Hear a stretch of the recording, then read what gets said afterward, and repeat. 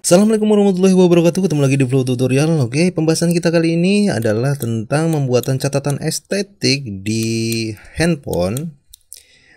Uh, Terutama ini di handphone Xiaomi ya Yaitu dengan menggunakan aplikasi yang ada di bawaan HP-nya Oke pertama tentunya kita langsung cek aja dulu Ini uh, untuk perangkatnya apa sih gitu ya Kita cek di sini Aku menggunakan uh, Xiaomi Redmi 8A kemudian MIUI Global 12.0.2 stabil oke okay.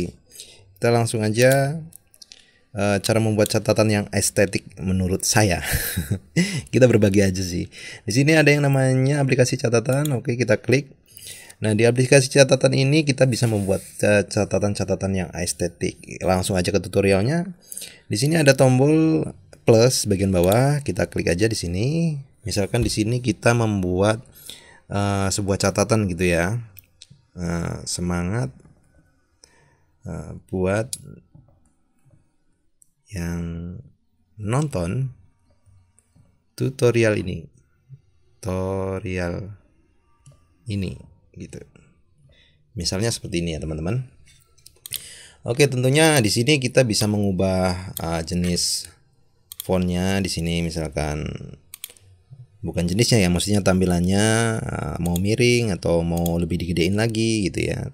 Tentunya bisa. Oke dan yang paling menarik adalah di sini kita bisa menggunakan uh, sebuah tema di mana tema ini akan membuat catatan kita menjadi lebih menarik. Jadi kalau kita punya catatan-catatan itu tidak membosankan banget ya. Di sini ada fitur tema nih kita klik di bagian yang gambar baju di sini teman-teman bisa memilih ini misalkan nah dia otomatis seperti itu milih ini Nah, tampilannya seperti ini kurang lebihnya. Gimana? Lebih menarik ya, catatannya lebih enak ya di, dilihat gitu.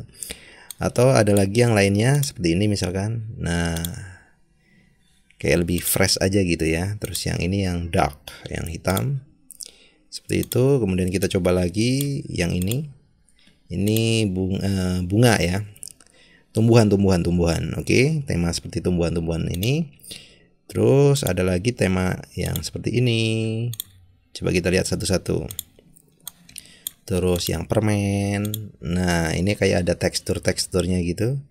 Ini lebih menarik, kayaknya di mata lebih fresh aja gitu ya buat catatan. Jadi kita nggak boring gitu. Atau mungkin yang seperti ini gitu ya. Oke, dan eh, teman-teman uh, kita bisa juga menggunakan gambar, menambahkan gambar ataupun suara ya, teman-teman ya. Di sini kan ada nih fitur ya sebentar. Nah di bagian mana? Ini ini. Ini kita bisa menambahkan gambar. Aku enter dulu coba. Kita bisa menambahkan gambar di sini. Dari galeri gitu ya. Coba kita iseng-iseng aja tambahin gambar. Apakah bisa? Kita coba ini aja ya. Oke seperti ini.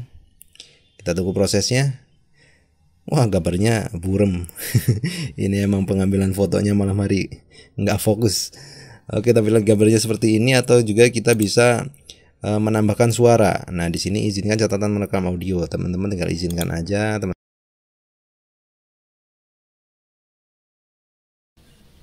Kalau sudah, nah di sini uh, menariknya kita bisa uh, membuat folder juga baru.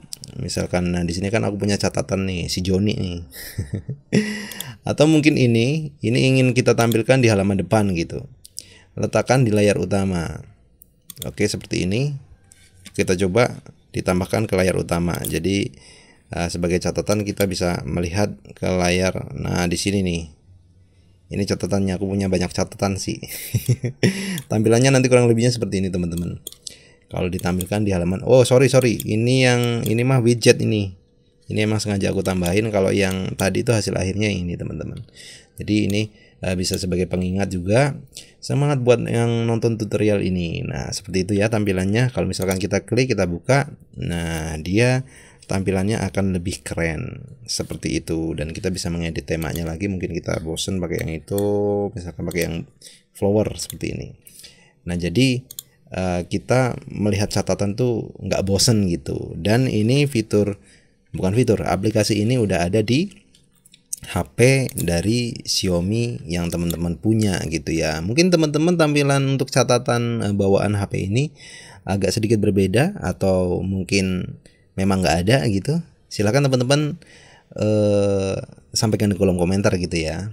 Kalau misalkan teman-teman tertarik, mungkin kita akan bikin eh, tutorial-tutorial uh, yang lain tentang uh, catatan yang estetik. Oke. Okay? Terima kasih sudah menonton video ini. Jangan lupa like, komen, dan subscribe. Dukung kami untuk mengembangkan channel ini. Dan wassalamualaikum warahmatullahi wabarakatuh.